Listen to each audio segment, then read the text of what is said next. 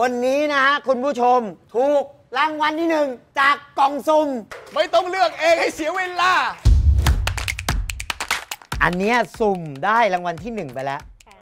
สุ่มให้คนอื่นหน่อยผมขอสามลูก ทีละลูก อ่า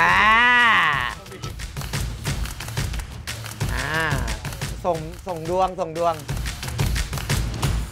อ่าทำไมครับ เลขที่สองครับ นี่ถ้าออกไปนี่อาจารย์ออนเลยนะ